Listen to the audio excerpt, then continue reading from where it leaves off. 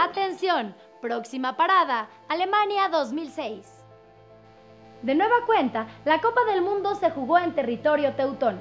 Alemania 2006 marcó un récord en cuanto al número de aspirantes a clasificar, 32 lugares para 197 afiliados. Uno de los mundiales más vistos en la historia y uno de los mejor organizados, conocido como el mundo entre amigos. Sin tanta amistad de por medio, Italia y Francia llegaron a la final. El partido fue luz y sombra para Zinedine Zidane. Tras 120 minutos, todo se decidió desde los 11 pasos. Fue la cuarta y fue azul. Italia ganó a la italiana. Las amenazas al gobierno de Vladimir Putin originaron medidas extremas para acallar la política del mandatario. Alexander Litvinenko, un exoficial de la KGB, acusó los actos terroristas de Putin.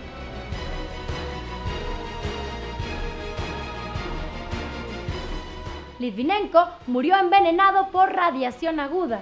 Rusia dio inicio a la era del terrorismo nuclear. Italia ratificó ser el terror en Alemania y pintó el cielo mundialista.